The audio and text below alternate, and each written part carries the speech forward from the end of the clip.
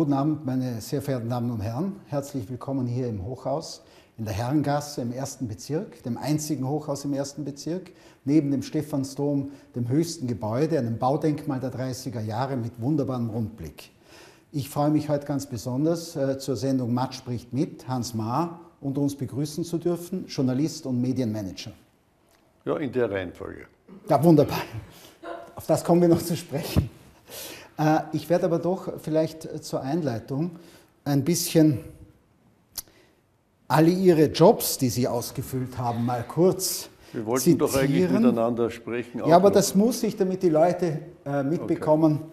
was Sie alles in Ihrem Leben schon angestellt haben, was Sie gemacht haben, welche faszinierenden Positionen Sie ausgefüllt haben. Äh, was mich äh, beeindruckt hat, Sie waren, glaube ich, schon mit 25 Jahren äh, Leiter des Politikressorts der Kronenzeitung, stimmt das? Ja. ja? ja. Dann waren Sie Büroleiter des Wiener Bürgermeisters, Sie waren Wahlkampfleiter und haben die Öffentlichkeitsarbeit für Bruno Kreisky gemacht, Ende der 70er Jahre. Sie waren Berater von Hans Dichand, Kronenzeitung. Sie waren äh, Chef vom Stern in Österreich. Sie waren äh, Geschäftsführer der Kronenzeitung dann. Ich glaube, da wurde sogar die Krone Bunt eingeführt in diesem Zeitraum, stimmt das? Das kann ja, ungefähr aussehen. Ich habe nachgeschaut, aber das war eine große Neuerung, denke ich mal damals. Sie waren Informationschef, Sportchef bei RTL, einige Jahre Chefredakteur bei RTL. Gest alles gleichzeitig. Alles gleichzeitig, ja. Vorsichtshalber. Wunderbar. Stellvertreter Geschäftsführer unter Gerhard Seiler. Sie haben dann bei Premiere waren Sie Sportressortchef. Sie haben unter anderem den Herrn Schumacher, den großen Autorennfahrer gemanagt. Sie haben Falco gemanagt und äh, heute sind Sie äh, Medienberater. Darf man das so sagen? Ja. Ja, gut. Sie haben ja in Ihrem Leben ungeheuer viel erreicht. Sie haben Zeit, waren mitverantwortlich für Zeitungs- und Mediengeschichte im deutschsprachigen Raum. Naja. Keine Übertreibungen, also ein bisschen mitgeholfen. Mitgeholfen, gut. Und äh, wenn man jetzt Ihren Hintergrund anschaut, Sie kommen nicht aus privilegiertem Haus, Sie haben sich das selbst erarbeitet, würde es Sie stören, wenn man Sie als Self-Made Man bezeichnen? Ach, das klingt zu großspurig. Ich habe mir viel selbst erarbeitet, ja. ja. Und ich bin stolz drauf und habe früh angefangen und habe immer viel, viel machen müssen. Äh, nichts ist mir in den Schoß gelegt mhm. worden, sondern für alles habe ich also ordentlich mich bemühen müssen. Also Sie haben viel und gern gearbeitet? Ja, gern, sicher, bis heute. Ja. Und es gibt ja keinen Grund, Arbeit als Belastung zu empfinden, finde ich jedenfalls. Für mich, mir macht Arbeit Spaß und ich mache eigentlich nichts, was mir nicht Spaß macht. Und daher sehe ich auch nicht, dass ich irgendwann mit dieser Arbeit aufhören werde. Also Sie sind nicht jemand, der an Frühpension denkt? Na, da könnte ich schon sein, könnte ich schon sein. Also das, das nicht. Aber mein Pensionsbeitrag steht jetzt schon langsam an. Also wir haben auch noch keinen Frühpensionisten in der Sendung gehabt. Das ist meistens nicht so interessant. Aber Sie sind echter Wiener, was ja selbst, ich bin Vorarlberger ja, und ich kenne also sehr viele, die hier in Wien leben. Ich habe zwei Vorarlberger Söhne, also ich habe auch sozusagen Vorarlberger Beziehungen. Insoweit okay. sind wir uns doch nicht so fremd. Nicht so fremd, gut. Aber äh, äh, Sie waren, auf was ich hinaus will, ist, dass Sie doch über 20 Jahre oder sehr lange im Ausland waren immer wieder zurückgekehrt. Noch bin, noch bin. Noch ich bin ja noch immer im Ausland. Sie sind noch immer im Ausland. Sie sind aber heute hier und Sie waren oft hier in dieser Zeit, aber trotzdem gewinnt man da einen Blick von außen. Äh, was ist für Sie in all diesen Jahren die signifikanteste Veränderung, die Sie in Wien bzw. in Österreich feststellen können? Gibt es so etwas? Bei Wien ist es einfach. Ja? Wien hat sich von einer alten, grauen Stadt zu einer mhm. wirklichen Metropole, zu einer jungen Metropole entwickelt die geil ist, die auf einer Ebene steht mit Berlin und die eigentlich international extreme Karriere gemacht hat, wenn man so will. Äh, bei Österreich äh, haben wir uns ein bisschen in den letzten Jahren zurückgezogen auf das, äh, was wir so präsentieren können, Kunst und Kultur, ein paar Schlösser, ein paar Burgen nicht? und viel Gemütlichkeit. Das klingt fast nach Freilichtmuseum. Äh, manchmal habe ich den Eindruck, äh, es wäre gar nicht so schlecht, rundherum äh, um die Grenze so ein bisschen einen Zaun aufzustellen und dann Eintritt zu verlangen. Das wäre ja vielleicht auch eine Möglichkeit, das Budgetdefizit zu bekämpfen. Nicht? Aber das ist, ich muss sagen, so, so, schön sich Wien entwickelt hat, so ein bisschen vorsichtig bin ich bei der Einschätzung des Landes Österreich. Äh, ich glaube, wir sind viel zu wenig aktiv, wir sind viel zu wenig international präsent. Wie gesagt, bei Kunst und Kultur ja, aber sonst sind wir sehr zurückhaltend geworden, stellen unser Licht unter den Scheffel, vor allem politisch. Sie haben lange Zeit in Deutschland gearbeitet und das schließt fast an diese Lagebeurteilung an. Was ist in Deutschland anders, wenn man dort arbeitet? Naja, man arbeitet einfach leichter. Nicht? Also wenn, wenn du in Wien irgendwo hingehst und äh, in einem Arbeitsbereich, also könnte man das bitte erledigen und so, auch genaue Beschreibung, kommt nach einem Tag wieder, ja, ja, stimmt schon, ja, ja, ja, sind dabei. Ne? Kommt nach einer Woche wieder, ja, ist, ist in Arbeit. Ja? Und nach einem Monat ist man dann etwas ungeduldig schon und äh, da wird es dann vielleicht doch fertig sein. In Deutschland das ist schon ein Unterschied. Nicht? Also ein Jahr ist in Deutschland ein Jahr. Ein Jahr ist in Deutschland ein Jahr und äh, ein Tag ist ein Tag. Also mhm. wenn man kommt und sagt, bitte kann das erledigt werden, mhm. dann wird es auch erledigt und das wird auch erwartet. Es ist ein bisschen effizienter, es ist ein bisschen schneller, es ist ein bisschen, wie man sagt, äh, auch professioneller im, im, im Arbeitsbereich. Aber das ist ja dann doch interessant, dass gerade Österreicher, wenn man den Medienbereich denkt, Thoma oder auch Zeiler oder Sie, Kläuber. Kläuber, dass die Österreicher in Deutschland durchaus im Medienbereich Karriere machen. Ja, wir waren noch viel mehr. Also da haben sich schon wieder einige davon also zurückbegeben. Welche Eigenschaften bringt man da mit als Österreicher, die dann doch in dieser Effizienz, Kultur, der Effizienz funktionieren? Ja, alle die, die geglaubt haben, mit dem Wiener Schmäh oder mit dem österreichischen mhm. Schmäh kann man so in Deutschland hausieren gehen und mhm. Erfolg haben, die sind enttäuscht worden. Mhm. Wer in Deutschland Erfolg haben will, der muss einmal die grunddeutschen, die Sekundärtugenden, Helmut Schmidt Zitat, äh, beherrschen. Pünktlichkeit, Ordentlichkeit, Effektivität, alles das, was also einen ordentlichen Deutschen ausmacht. Wenn man da drauf auch ein so ein bisschen eine Kreativitätsstreit, eine Prise, dann hilft das. Dass einen Schmäh hat. Den Schmäh hat, ja. das hilft. Aber die Grundtugenden, die muss man schon einhalten. Und alle die, die gekommen sind, gesagt, nur mit dem Schmäh, die sind also elendiglich gescheitert. Aber auf die Frage zurückzukommen, äh, warum haben sich die Österreicher gerade im Medienbereich, aber im ganzen Kulturbereich äh, äh so gut gehalten? Ich glaube, das hat mit dieser Enge von Wien zu tun. Nicht in Wien wenn man in Wien sozialisiert wird, dann gibt es nicht so wie in Deutschland eine Branchensozialisierung. Also Journalisten treffen Journalisten, Medienmanager treffen Manager, Sportler, Sportler, da trifft sich alles. Auch aufgrund der Kleinheit. Aufgrund der Kleinheit. Nicht? Ich erinnere mich also auch schon länger her, da gab es am äh, Freitag eine Premiere vom Flickflack, vom André Heller, am Samstag eine Opernpremiere äh, mit großen Tenorstars mhm. und am Sonntag das berühmte Preisschnapsen beim Almdudler. Und bei allen drei Anlässen waren genau dieselben Leute. Nämlich vom äh, Gewerkschaftspräsidenten, also bis äh, zu einigen Ministern, den wichtigen Journalisten, Managern und so weiter. Daher hat man als Wiener Österreicher, der in Wien lebt, relativ eine starke Beziehung über die Branchen hinaus. Man ist viel flexibler, man ist breiter, man ist offener und kann wahrscheinlich das auch dann auf die Dauer, mhm. etwa dann in Deutschland, so besser umsetzen, die viel spitzer ja, erzogen ja. sind. Äh, Sie waren ja 68, glaube ich, schon bei der Krone. Nein, beim Express. Das und war, dann bei der Krone. Nicht? Das ist für die, die schon ja. im fortgeschrittenen Pensionsalter sind. Ja, das stimmt. Das gab es. Das war damals eine, eine, eine, eine Boulevardzeitung, die der SPÖ gehört hat. Den hat der Bacher, berühmte mhm. Bacher, ORF, ORF, hat die auch zum Teil geführt. Da habe ich also hm, meine ersten, meine ersten journalistischen Schritte getan. Sehr jung. Jetzt wollte ich Sie fragen dazu. War Journalismus Ihr Traumberuf? Wollten Sie das immer machen? Immer schon, immer schon. Also seit meinem, glaube ich, 11., 12. Lebensjahr, da bin ich immer bei der Trafik um die Ecke, Wien-Hernals, Hernals Hauptstraße, Wattgasse gesessen oder gestanden, besser gesagt, habe die Zeitungen lesen dürfen, ganz vorsichtig, damit sie auch nachher noch verkauft werden konnten.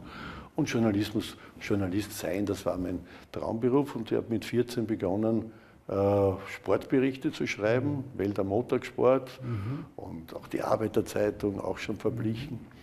Und äh, bin dann eben, wie ich mit der Matura fertig war, habe ich noch ein bisschen studiert, wie alle, ja. aber leider nicht fertig studiert und habe dann angefangen äh, mit dem Journalismus, Express ich, und Kronenzeitung. Ich habe über Sie gelesen, äh, äh, da wurde Ihnen der Begriff zugeordnet, Sie seien ein Quotenjunkie. Das habe ich mir dann gedacht, das passt ganz gut eigentlich auch zu dieser, ja. zu dieser Leidenschaft für, für den Boulevard, für die Boulevardzeitungen. Äh, was ist so anziehend am Boulevard? Ja, ich meine, Quotenjunkie heißt ja nicht unbedingt äh, Boulevard. Auch die, auch die Kollegen von der Frankfurter Allgemeinen sind sehr froh, wenn sie mehr Zeitungen verkaufen. Nicht? Ja, das ist absolut also, richtig. Das ist nicht unbedingt der Qualitätsschiene. Die für zeitgenössische Kunst sind froh, wenn mehr Leute kommen. Richtig, auch Museumsdirektoren haben das so an sich so. Ja. Ne? Aber äh, Quotenjunkie, beziehungsweise was ist schön am Boulevard?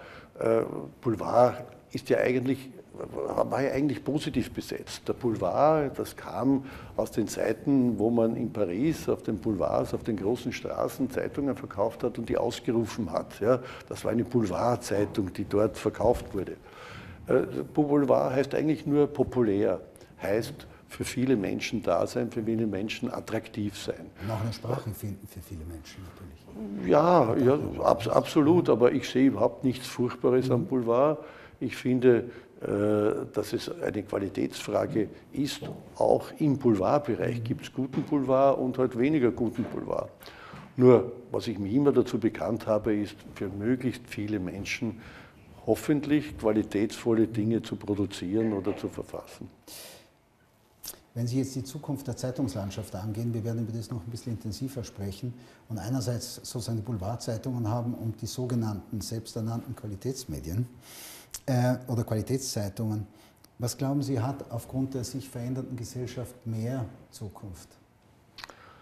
Ist heute schwer zu sagen. Ich glaube aber, äh, dass die Qualitätszeitungen, also die, die Broadsheets, ja, wie das im Englischen heißt, ja. Äh, wahrscheinlich die Umstellung leichter schaffen können, nämlich die Transformation auch in den elektronischen Bereich, mhm.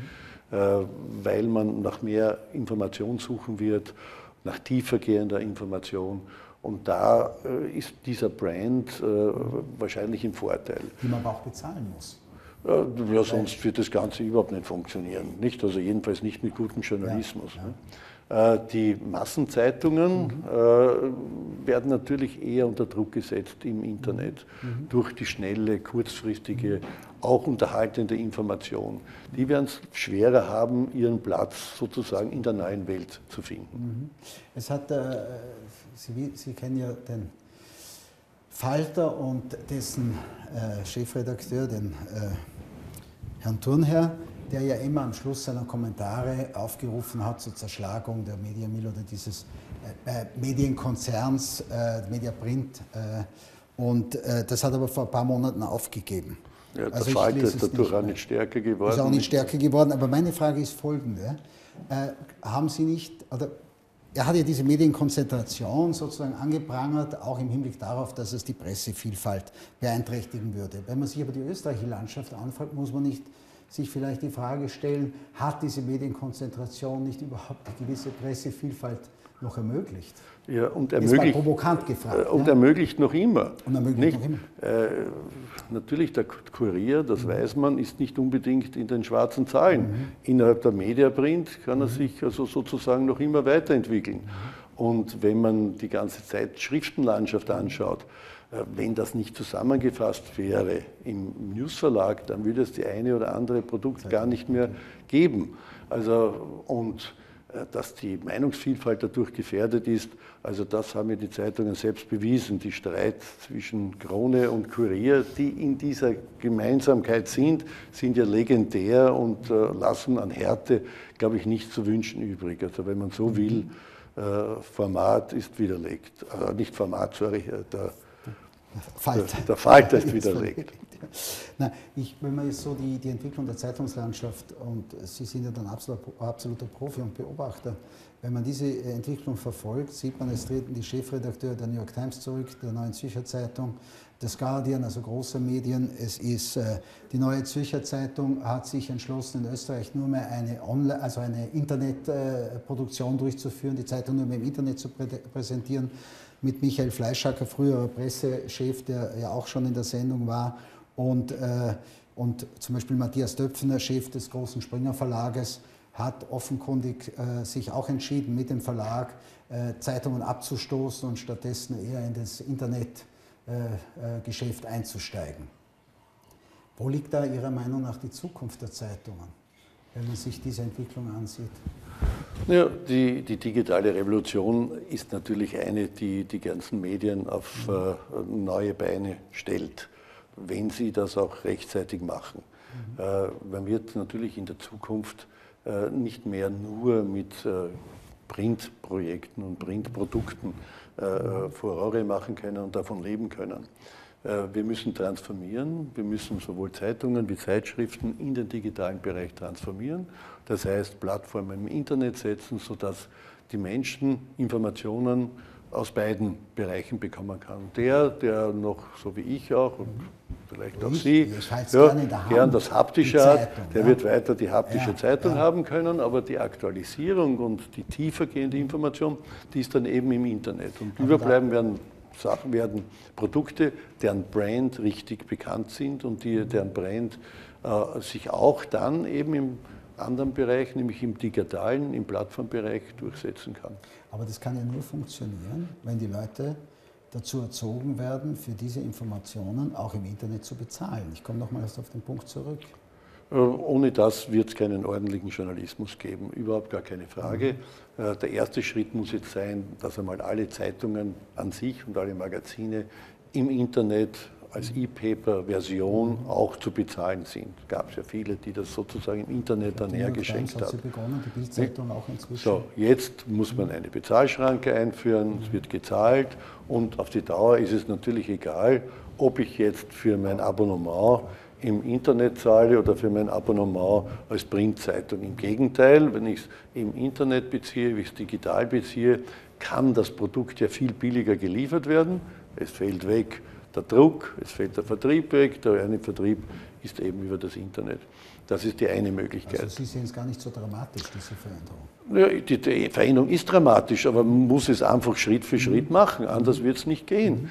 Ich meine, wenn Sie nehmen jetzt die Kronenzeitung zum Beispiel, nicht? die Kronenzeitung verkauft über 800.000 Exemplare, hat äh, fast 700.000 Abonnenten. Wenn es gelingt, einen Teil dieser Abonnenten, nur einen Teil, sagen wir ein Drittel davon, ins Internet zu bringen, wo sie weniger für ihre Zeitung zahlen müssen, dann ist bereits dieselbe Situation wie vorher gegeben, einfach von der finanziellen Seite her, dann ist eine solche Produktion möglich. Und das gilt natürlich für alle anderen äh, Medien gleich. Nur wer jetzt anfängt zu schlafen und weiter schläft, äh, für den ist die Geschichte dann irgendwann einmal vorbei. Ich habe erst vor kurzem bei einer Veranstaltung bei den österreichischen Medientagen, wenn ich so umgeblickt habe und habe so die österreichischen Verleger zum Teil gesehen, habe ich mir erlaubt zu bemerken, äh, dass ich den Eindruck habe, manche davon glauben, das mit dem Internet wird auch vorbeigehen. Nicht? Also ich, ich kann nur warnen, das bleibt. Das bleibt. Das ist jetzt ein bisschen eine Warnung auch an manchen österreichischen Verleger, nicht?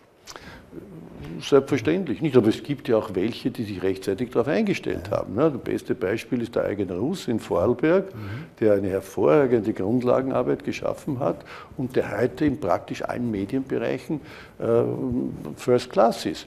Und der wird in seinem lokalen Bereich, Vorarlberg, ja. Hier sitzt schon wieder einer, ja, das wird dann auch bestehen bleiben, dieses Imperium Rus, auch in der digitalen mhm. Ära.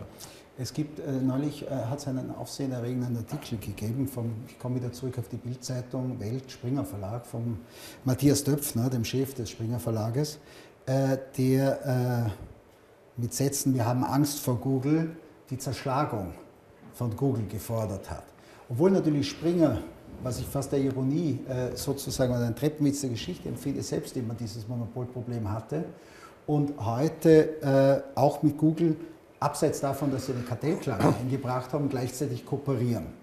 Wie sehen Sie äh, äh, dieses, diese, dieses Verhältnis zu Google von all den Medien, die wir jetzt haben? Ist das wirklich so problematisch? Ist hm. Google ein Feind? Äh, Google ist kein Feind, aber Google ist äh, eine Krake, die sich überall ausbreitet und mhm. irgendwann einmal auch die Meinungsfreiheit sozusagen einschränken wird. Und zwar tatsächlich nicht nur national, sondern international. Und deshalb hat ja nicht nur Döpfner gefordert, sondern das Europäische Parlament ja schon beschlossen, äh, ob das was bringt, wissen wir noch nicht, dass äh, Google in der einen oder anderen Art und Weise einzuschränken ist. Zumindest, dass das Geschäft getrennt wird.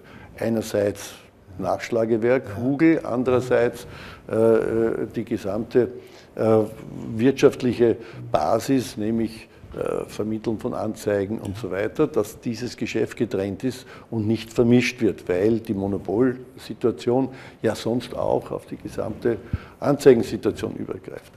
Äh, da ist sicherlich, muss man sicherlich etwas machen und sicher geht überhaupt nicht, dass sich jemand wie Google alle Artikel nimmt, die es halt irgendwo gibt und dann einspeist und sie gratis also äh, weitervermarktet. Und damit Werbung versiert und kassiert.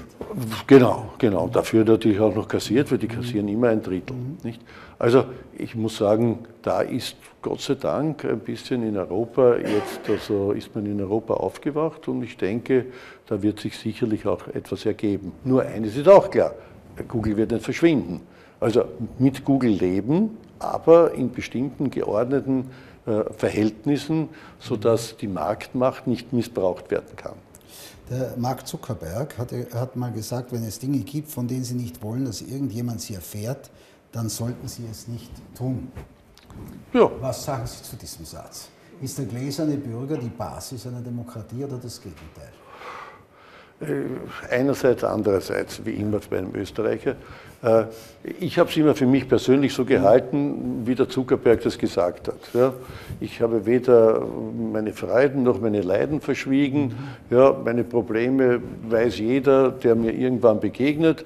Ich habe nichts zu verbergen und daher ist es mir auch völlig egal, was da im Internet nachgeforscht wird. Aber nicht jeder ist so. Nicht? Also das ist sozusagen ein bisschen angewandter Exhibitionismus. Nicht? Mhm. Aber, aber manche wollen das halt nicht, nicht. Und für die muss es schon die Möglichkeit geben, äh, dass es hier klare Grenzen gibt, äh, dass ihre äh, Integrität, ihre persönliche, nämlich das, was zum Namen, zur Person dazugehört, nicht verletzt wird. Ne? Aber das wären ja alles Aufgaben eigentlich der Politik, einer zeitgenössischen Politik und man hat das Gefühl, dass man von der Politik zu diesen Fragen wenig hört. Naja, das ist die, nicht nur die Politik, das ist die Gesellschaft im Moment überfordert. Wir sind ja jetzt in einer absoluten revolutionären digitalen Phase. Ja, die meisten haben nicht einmal begriffen, was Facebook ist. Nicht? Und ich bezweifle, dass mehr als 10 Prozent unserer Politiker wirklich auf Facebook sind ja, oder das auch also wissen, wie das geht. Die meisten haben zu Twitter und zu Facebook äh, sozusagen die Beziehung, äh, Dankeschön, ich kenne schon genug Leute und verfolgen will ich mich auch nicht lassen. Ne? Also, äh, das, ist, das ist aber auch, verstehe ich aber auch. Nur, da gibt es schon jetzt einen gewaltigen Druck, aber das nicht auf nationaler Ebene, sondern auf internationaler Ebene zu lösen. Also wenn wir glauben, wir als kleine Österreicher werden jetzt das ganze Problem der digitalen Gesellschaft in den Griff bekommen, na Freundschaft. Kehren wir zurück, kehren wir zurück äh, zum altmodischen Medium Fernsehen. Sie haben ja also bei RTL, bei Premiere in verschiedensten Funktionen gearbeitet. Sie kennen Fernsehen wahnsinnig gut. Aber es waren Privatsender. Und wenn Sie jetzt äh, äh das Verhältnis zu den öffentlich-rechtlichen Sendern sich anschauen, ist es zum Beispiel ein Klischee, dass Privatsender äh, oder Privatfernsehen unpolitischer ist, dass öffentliches Fernsehen objektiver ist, weniger populistisch? Sind das Klischees inzwischen? Jetzt haben wir alles durcheinander geworfen. Also ja, un, unpolitisch, unpolitisch ist nichts. Ja? Ist kein, keiner der Sender. Selbst wenn Sie wenig Politik berichten, ist das noch immer nicht unpolitisch. Ausgewogen, naja, die Ausgewogenheit, glaube ich, da unterscheidet sich nicht viel. Mhm. Äh, unterscheidet man nicht viel zwischen öffentlich-rechtlichen und privaten Sendern. Populistisch kommerziell, ja das ist klar, aber da sind wir wieder beim Boulevardproblem vom Anfang. Ja? Das wird immer so als Vorwurf in die Welt gestellt, weil es ein kommerzieller Sender ist. Muss er populistisch sein? Was ist Populismus? Auch ein blöder Vorwurf eigentlich, dass ich möglichst viele Leute erreiche. Wenn das Populismus ist, dann lasse ich mir das gerne gefallen. Das heißt, natürlich müssen äh, äh, private finanzierte Sender müssen schauen, dass sie möglichst viele Zuschauer haben und daher auch ihre Nachrichtengestaltung daran richten. Ich habe das immer gesagt. Diese, Sie haben, gibt es den Begriff Infotainment, habe ich ja. gelesen. Ja, also Nachrichten sollen auch unterhalten. Ja, ja, Nachrichten sollen auch unterhalten, aber im Prinzip geht es darum, dass ich den Menschen beides liefere. Diese Nachrichten, die sie haben müssen, weil sie wichtig sind, Politik, Wirtschaft, Kultur, was auch immer, aber auch Nachrichten, die sie haben wollen, die sie nämlich interessieren, die möglicherweise Spaß machen, die unterhaltend sind oder die einfach für, für, für, für, die, für das Lebens, für das tägliche Leben notwendig sind. Ich habe immer gesagt, wenn am Ende der Nachrichtensendung die einzige Konsequenz der Selbstmord ist für den Zuschauer, dann haben wir was falsch gemacht. Also das heißt, insoweit sollte das Ganze schon ein bisschen auch mit ein bisschen vergnüglichen Elementen verbunden sein. Nur Krieg, Tod, Verwüstung und so weiter wäre ein bisschen schrecklich. Aber wozu brauchen wir noch öffentlich-rechtliches Fernsehen? wenn das Private in gleicher Weise erfüllt und wenn wir noch öffentlich-rechtliches Fernsehen brauchen, warum reduzieren wir es dann nicht? Auf den reinen Bildungsauftrag. Also sprich beim ORF, wieso nicht nur mehr Österreich 3 und Nachrichten, wieso braucht es diese ganzen Formate, die wir in Privatsendern auch sehen können? Das ist ja die ewige Diskussion und äh, ich bin natürlich immer verleitet, als Vertreter mhm. der privaten Medien zu sagen, aus, zusperren, aufs Reduzieren. In der Zwischenzeit bin ich davon ein bisschen abgekommen. Ich glaube, dass der öffentliche rechtliche Rundfunk sehr wohl eine Aufgabe hat und eine Aufgabe über, das, über den ganz engen Kultur- und Politikbegriff äh, hinaus. Also kein ja. Minderheitenfernsehen für. Wenn der ORF zum Beispiel ein reiner Bildungsauftrag ja. ist, dann wird ihn kaum jemand zuschauen. Dann ist Was er in der Funktion auch überflüssig. Ja. Daher, wenn wir so etwas wollen, dann müssen wir auch den öffentlich-rechtlichen Anstalten, also zum Beispiel den ORF, die Möglichkeiten geben, breiter zu sein, sehr wohl Sport zu machen, sehr wohl Unterhaltung zu machen, denn sonst ist er überhaupt überflüssig. Wichtig ist nur, dass es eine gewisse Politikferne gibt. Politikferne meine ich Ferne zu den Politikern, nicht zur Politik an sich. Und da mache ich mir so meine Sorgen weil äh, das, Kuratorium, weil das Kuratorium so zusammengestellt ja. ist, dass es genau ausgeklügelt ja. ist, wer wo wie wann stimmen kann und es kaum jemals eine Abstimmung gibt, wo nicht nach sozusagen Grenzen abgestimmt wird, äh, nach Parteigrenzen, na, das ist nicht gut. Nicht? Und da muss man schon irgendwann eine Lösung finden. Äh, dass man es ein bisschen sozusagen in die Freiheit entlässt. Nicht? Die Journalisten, das ist schon wieder was anderes. Da hat so viel Unsinn gegeben, dass die in der Zwischenzeit ihre Freiheit ordentlich erkämpft haben. Ich kenne keine öffentlich-rechtliche Anstalt, die so journalistisch unabhängig und frei berichten kann, wie das beim ORF der Fall ist. Ich weiß von ARD und ZDF, die wären froh, hätten sie diesen Status. Trotzdem äh, sind Sie der Meinung, dass der ORF in Bereichen reformiert gehört? Alles gehört reformiert und, der, und der, gerade, wir haben ja vorher von der digitalen Revolution mhm. gesprochen, ja. gerade äh, beim Fernsehen ist natürlich hier eine Reform genau, dringend notwendig. Es ist ja nicht mehr so, dass die Menschen nur auf dem großen Schirm ja, äh, konsumieren, sondern je jünger, umso mehr. Konsumieren sie es unterwegs, mobil, über, über, über die Smartphones, über Tablets und, und, und, und, und iPhones und iPads. Äh, da ist ja schon ein Unterschied. Und suchen sich auch aus, wann Sie eine Sendung anschauen, Selbstverständlich, welchen ja. Sender Sie wählen. Ja, aber was ist das Rezept da? Gibt es da irgendeine Vorstellung, wie soll das Fernsehen in diesem Zusammenhang äh, äh, sich weiterentwickeln? Ganz einfach, ist nicht so einfach, wie es gesagt mhm. ist, aber ganz einfach gesagt, äh, Uh, best of both worlds.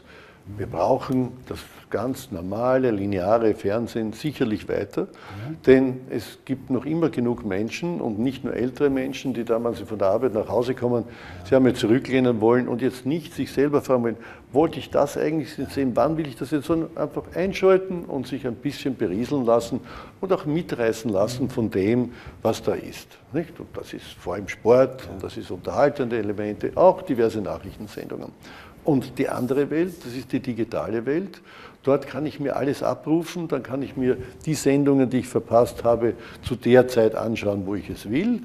Und ich kann Einzelabrufe, also Video on Demand machen, ich kann mir die Filme bestellen und so, so dass ich beides machen kann. Und jede, jeder Fernsehsender oder jede elektronische Anstalt muss natürlich auf die Dauer das Geschäft da wie dort betreiben. Und das macht zum Beispiel der ORF gar nicht so schlecht mit der, mit der TV-Take. Allerdings auf die Dauer wird es nur gehen, wenn auch da gewisse Zahlströme eingebaut ja, werden, ja. denn auf die Dauer kann man auch das Archiv nicht verschenken. Naja, äh, Sie waren ja für viele Fernsehsendungen äh, verantwortlich, für verschiedene Formate, für viele auch grundsätzliche Entscheidungen, was, ihre, was die Anstalten äh, betroffen hat, für die Sie gearbeitet haben. Äh, was würden Sie als Ihren größten Erfolg bezeichnen und was waren Rohrkrepierer, um es mal so zu sagen?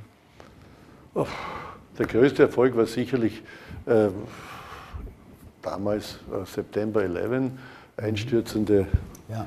äh, World Trade Center Tower. Äh, da war RTL und da war ich schon beteiligt dran, äh, vom ersten Moment an dabei, bis die Öffentlich-Rechtlichen da reingeschaltet haben. Mhm. Da war schon der erste Turm zusammengefallen. Also da hat das Team und hat RTL damals wirklich großartig geleistet. Das war auch ein bisschen mit mein Erfolg. Äh, wenn Sie es von den Sendungen her wissen, wissen wollen, dann glaube ich, äh, dass es wirklich gelungen ist, einen Prototyp herzustellen für eine Nachrichtensendung, die nicht langweilig ist und wo man sich auch unterhalten kann. Das ist äh, die RTL Aktuell-Sendung. Plus eines auch, äh, die neue Form, wie man heutzutage äh, Sport vermittelt. Ja. ja. da haben wir, glaube ich, und habe ich einiges mit, mitgemacht und mit beeinflusst von der Formel 1 über die Champions League und Skispringen und so weiter. Und Misserfolg. Misserfolg. Äh, was, was? Ich bin ein großer Verdränger. Also so. Misserfolg. Also ein Misserfolg war sicher, wie, wir, wie ich damals bei Premiere war und wir nicht die Rechte bekommen haben für die Bundesliga. Und das war sicher ein dramatischer Misserfolg und, und äh, da hat es mich dann auch nicht lange mehr gehalten.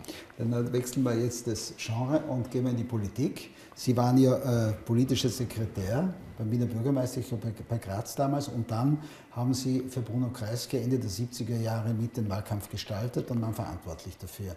Und äh, wenn Sie jetzt sozusagen auf die, die Entwicklung der Politiker anschauen, auch der Politiker, haben Sie das Gefühl, dass heute äh, Intellektualität keinen Platz mehr in der Politik hat oder anders formuliert, dass sozusagen Haltung durch Meinungsumfragen ersetzt wurde und Ideologie durch Opportunismus oder ist das ein zu negatives Bild? Ist das sozusagen ja, das ist mir zu, zu, zu viel verschlagwortet. Zu klischeehaft. Ja, das ist mir zu klischeehaft. Ja. Äh, gerade, gerade wenn, wir, wenn wir jetzt von, der, von den ja. Meinungsumfragen sind, ja. der, der Meinungsumfragen erfunden hat, war der Karl Blecher. Damals, Damals IFES aufgebaut und äh, der Kreisky war deshalb auch immer sozusagen gut äh, in der, bei den Themen, weil er aus den guten Meinungsumfragen wusste, was denn so gewünscht war. Nur eines war auch klar, und das war immer seine politische Stellung.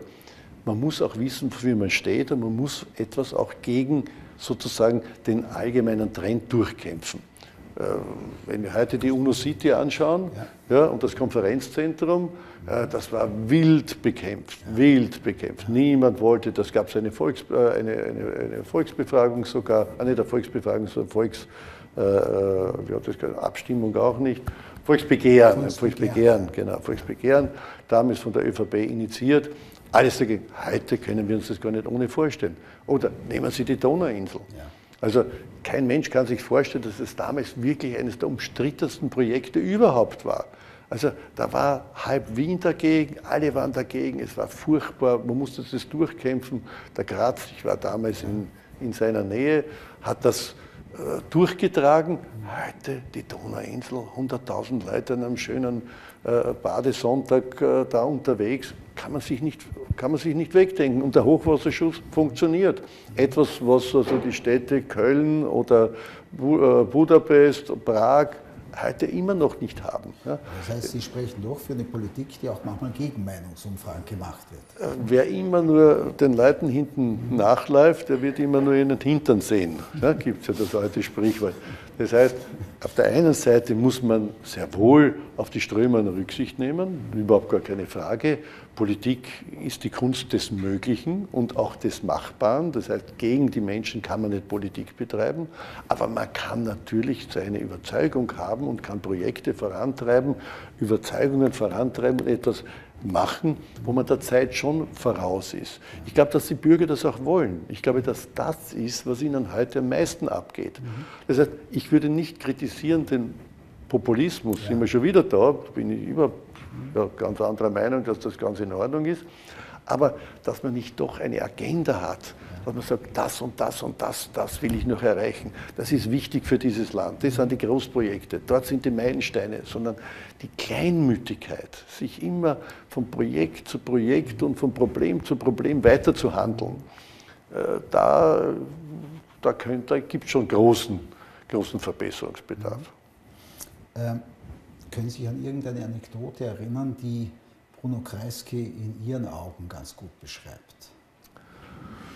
gibt Bruno Kreisky, es gibt es ja. unendlich viele. Ja, ich, ich, ein, ein, ein, ein, Zitat von ihm oder eine Anekdote von ihm ist mir sozusagen auch ein bisschen in Fleisch und Blut übergegangen. Er hat immer gesagt, mein Gott, man muss die Menschen lieben, ja? Mhm. auch wenn es manchmal sehr schwer fällt. Ja? Und äh, seitdem habe ich mich entschlossen, so wie er, die Menschen zu lieben, weil es bleibt dann eh nichts anderes über. Jetzt kommen wir zu einem ganz anderen Politiker, äh, einem konservativen Politiker, mit dem Sie sich aber auch, glaube ich, ganz gut verstanden haben, nämlich Helmut Kohl. Was haben Sie an Kohl geschätzt? Kohl war ein Urvieh. Ja. Er hat diesen bösen Beinamen Generalist gehabt, aber mhm. das war auch gleichzeitig seine Stärke, mhm. weil er hat auch so wie Kreisky, das muss man sagen, eine Agenda gehabt, eine, etwas, etwas äh, aufbauen wollen, etwas erfüllen wollen. Ich glaube, dass er gerade der richtige Mann zur richtigen Zeit war bei der deutschen Wiedervereinigung. Ja, wie er das angegriffen hat und vollzogen hat. Ja, großartig. Oder Euro, Natürlich kann man heute sagen, ist früh und Griechenland hätte nicht dazu und so weiter. Wäre es damals nicht gekommen, hätten wir es wahrscheinlich heute nicht. Ja, noch immer nicht. Und das war der Kohl, der an bestimmte Dinge geglaubt hat, die mit aller Macht durchgesetzt hat und äh, der natürlich ein Konservativer war ja, und daher mir ideologisch wahrscheinlich gar nicht nahestehend. Ja. Aber es war mit ihm immer sehr angenehm zu reden, zu diskutieren und er hat auch zugestanden, dass man andere Meinungen haben durfte, äh, was bei jedem Politiker nicht unbedingt der Fall ist. Sie sind äh, ja nicht bei der Politik geblieben, wie wir wissen, und äh, tut Ihnen das leid? Sie könnten heute ein ganz erfolgreicher Politiker sein. Ich weiß es nicht. Also ich bin vielleicht ein bisschen zu unangepasst. Also ich bin auch ein bisschen zu unvorsichtig in den Dingen, die ich sage und manchmal vielleicht auch tue. Äh, Politik ist schon eine ganz mühsame Sache, nicht? Weil äh, alles, was du sagst, kann gegen dich verwendet werden und so weiter. Äh, aber Politik ist ein faszinierendes Geschäft. Also, Sie könnten es ja noch machen. Naja, es ist noch nicht aller Tage Abend und eine neue Karriere ist immer was Interessantes, aber ich will die damit nicht ankündigen, um Gottes Willen. Da muss man aufpassen, ja, im Fernsehen und in Österreich. Ähm, Sie waren oder sind äh, ja immer noch, kann man so sagen, Sozialdemokrat oder stehen zumindest der Sozialdemokratie nahe, haben aber immer für Privatsender gearbeitet, die durchaus einem kapitalistischen Profitdenken verpflichtet waren. Und da stellt sich natürlich die Frage auch, nach 1989, nach einer völligen Veränderung der bipolaren Welt, was macht heute noch einen Sozialdemokraten aus? Was macht den Sozialdemokraten Hans Maar aus? Ja, persönlich stehe ich nach wie vor zu den Idealen der Sozialdemokratie. Ich glaube, äh, dass man das Leistungsprinzip auf der einen Seite mit dem sozialen Ausgleichsprinzip vermählen muss. Es kann nicht sein, dass einige wenige Eliten sozusagen alles grapschen, alles in ihre Säcke stopfen und äh, für die Masse der Menschen nichts überbleibt. Daher bin ich immer aufgeschlossen für jede Art von sinnhafter, äh, nicht Umverteilungspolitik, sondern Politik, die einen sozialen Ausgleich bringt. Das geht über Bildungswesen, das ist mein großes Anliegen. Ich habe fünf Kinder, daher weiß ich, wovon ich spreche. Ja, das gibt es aber für die Benachteiligten in der Gesellschaft und, wenn man will, auch alle die Migranten, die wir bekommen, die wir dringend brauchen, weil sonst werden wir sozusagen schon langsam immer weniger werden und, äh, und auch weniger bedeutend sein. Sehen Sie die Ideale in der jetzigen Sozialdemokratie noch äh, äh verwirklicht? Ja, ich meine, jede sozialdemokratische Partei ist eben eine Partei, ist eine Verwaltungseinheit. Ja? Äh, die ist weniger als die hehren Ziele. Äh, man bemüht sich, äh, man könnte sich mehr bemühen. Das heißt, man kann von einer Identitätskrise sprechen. Um es etwas härter zu formulieren. Ja, das betrifft aber nicht nur die Sozialdemokratie. Ja, alle klassischen Parteien, alle klassischen Parteien sind ja. in einer Identitätskrise, mhm. weil sie ja als Vertretungs, äh, sozusagen Vertretungsorganisationen äh, aufgebaut wurden, nicht? Also um die Arbeiter zu vertreten, ja, denen die Rechte zu bringen und so weiter. Und in einer Zeit, wo sich diese ganzen Unterschiede mehr oder weniger auflösen, ja, wo das neue Proletariat nicht der kleine Arbeiter ist, der geknechtet wird, nicht nur, der kann es noch immer sein, aber kann es genauso der kleine Landwirt sein ja? oder überhaupt der Arbeitslose, der nicht mehr vermittelbar ist. Wo sich alles so ändert, verändern sich da auch ein bisschen sozusagen äh, die, die, die, die generalen Strukturen. In Wahrheit müsste man alle die klassischen Parteien heute neu erfinden und neu gründen. Die Sozialdemokratie natürlich, ja, unter ganz anderen Voraussetzungen. Äh, wenn man die ÖVP anschaut, eine Partei, die aus Bünden besteht, die miteinander eigentlich nichts zu tun haben, ja, weil ich meine, der ÖAB mit äh, äh, dem, dem, dem Bauernbund, äh, bitte, was soll das? Ja, äh, das überhaupt. Und das Schade ist, dass es überhaupt keine liberale Partei gibt. Nicht? Also das Liberale in der SPÖ ist ein bisschen zurückgedrängt worden, äh, finde ich jedenfalls. Äh, in der ÖVP versucht man es gerade ein bisschen wiederzubeleben, nicht? Und wann liberal ist, dass ich Bäume umarme, ehrlich gesagt, das ist mir auch zu wenig. Ne? Äh, ganz was anderes. Sie waren ja auch Manager von Falco. Und äh, wann war das und wie war das? Ja, das war in den 80er Jahren bei den größten Erfolgen. Mhm. Ich wollte ihn damals als Testimonien haben für eine Kreisky-Kampagne. Ja. Äh, wie ich noch äh, im Wahlkampf tätig war für Bruno Kreisky. Und der hat gesagt, da bist du verrückt, für die Politik kommt ja nicht in Frage. Aber wir haben uns persönlich eigentlich ganz gut verstanden. Und wie ich dann, nachdem Kreisky aus der Politik geschieden, ausgeschieden ist, auch rausgegangen bin, hat er mich angerufen und gesagt, Alter, ich habe gehört, du bist nicht mehr beim Kreisky. Ich habe gesagt, nein, bin ich nicht mehr. Ich gesagt, na Alter, dann kannst du was für mich machen. Ne? Und so begann es eben. Nicht? Da haben wir uns zusammengesetzt. Man ist ja dann neugierig. War das lustig irgendwie mit ihm? Oder? Äh, das war Rock'n'Roll. Äh, das war, war richtiger Rock'n'Roll noch, ja. mit allen Begleiterscheinungen, die man haben will oder nicht haben will. Nicht?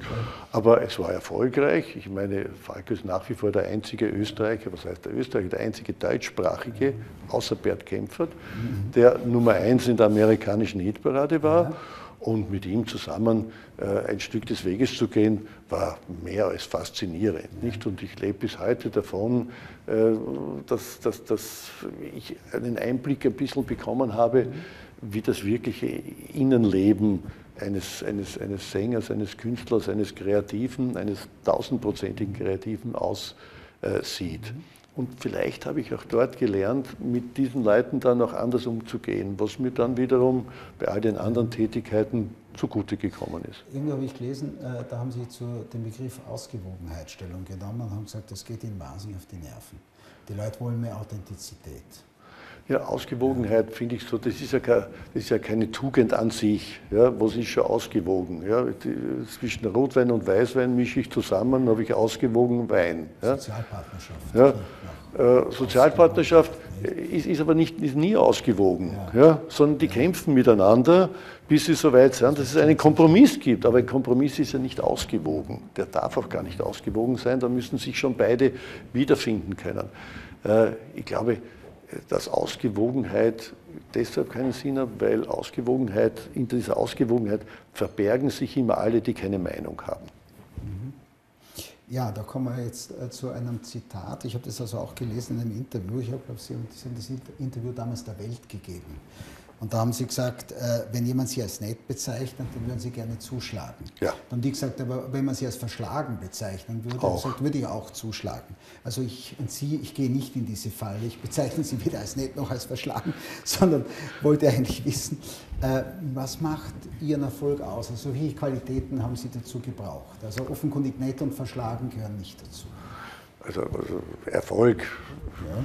mein Gott ich habe ein bisschen was erreicht und das freut mich und das erfüllt mich nicht nur mit Stolz, Stolz ist überhaupt so ein blöder Ausdruck, sondern auch mit großer Dankbarkeit denen gegenüber, die mir das ermöglicht haben. Und ich habe ja immer relativ äh, gute Bezugspersonen gehabt. Nicht? äh, wenn Sie wollen, gibt es einen Grundstock, ich habe immer persönliche Beziehungen. Ja? Da, da, lerne ich am meisten, da schöpfe ich die meiste Kraft und das war im gesamten Bereich, politischen Bereich natürlich auch der Bruno Kreisky. Äh, so einen Menschen gibt es halt in einem Land wie Österreich alle 100 Jahre mal. Nicht? Da kann man lernen, da kann man dankbar äh, sein, wenn man mit ihm eine Zeit verbracht hat. Wenn Sie wollen, im ethischen Sinne, äh, was der Kardinal König, den ich wirklich geliebt und verehrt habe, der hat mich immer eingeladen, so einmal im Monat durfte ich immer mit ihm essen.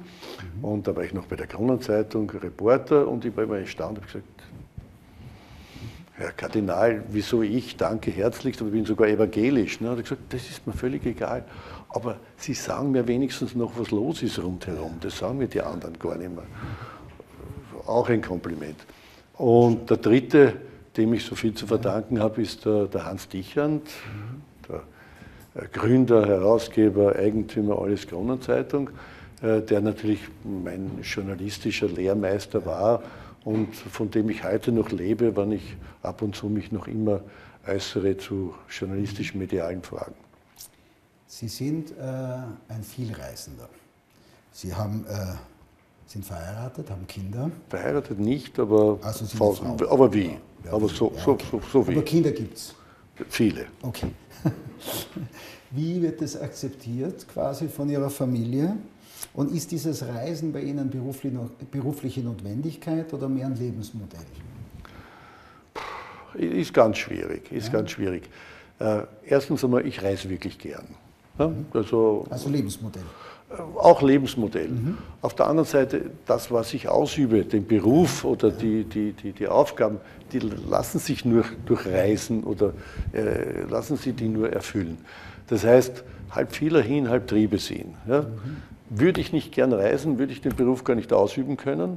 Insoweit ergibt sich ganz gut. Und persönlich kann ich nur meine Frau äh, zitieren, äh, die gefragt wurde, sagen Sie, in diesem ganzen Showbusiness und so, wo Sie da drinnen seid, meine Frau, für die, die es nicht wissen, ist auch im Fernsehen, moderiert eine Nachrichtensendung, eine große. Äh, wie kommt es, ihr seid jetzt schon 17 Jahre zusammen? Und da hat sie gesagt, mit der entwaffneten Ehrlichkeit, äh, netto sind es eigentlich nur vier Jahre. Nicht? Weil die meiste Zeit war ich sonst unterwegs. Bitte, das ist auch eine Erklärung. Ein Rezept, wie Ehen oder wie Beziehungen lange standhalten. Nicht? Ja, also für die so Auer und für die Lufthansa sozusagen ein Erfolgskonzept. Nein, ganz im Ernst, ich reise gern. Aber ich mache auch eines, sage ich auch ganz offen, ich reise, Reisen ist für mich nicht Selbstzweck. Ja.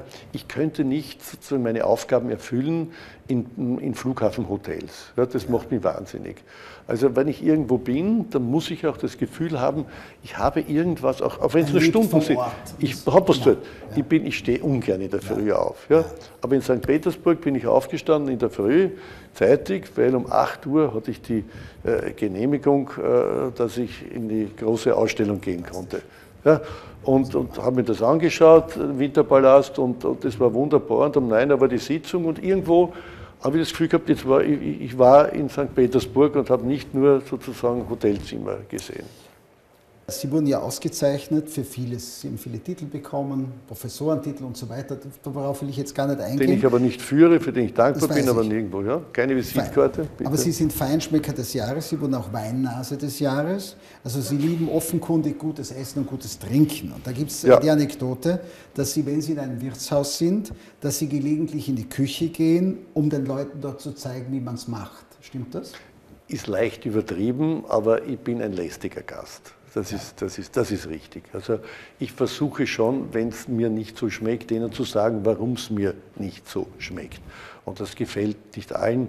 Ich bin aber nicht so eingebildet, dass ich glaube, ich kann besser kochen. Ich bin beim Essen weit besser als beim Kochen.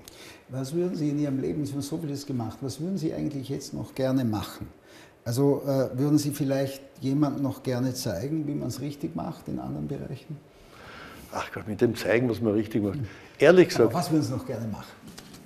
wenn ich wirklich so weit bin, dass ich ein bisschen mehr Zeit habe, dann würde ich mich wieder einschreiben auf der Universität und möchte noch ein Studium abschließen. Ich weiß noch nicht genau welches, aber eins würde ich noch gern abschließen. Nicht wegen dem Doktortitel, mhm. sondern einfach um auch das, was bei mir unvollendet ist, auch hier vollendet zu haben. Das klingt jetzt wahnsinnig beruhigend. Also es muss sich niemand Sorgen machen, den Job zu verlieren, weil Hans Ma vielleicht mit mehr Qualität in den Job einsteigt. Er will auf die Universität. Dankeschön. Student, Student. Student wieder sein. Danke, Herr Mann.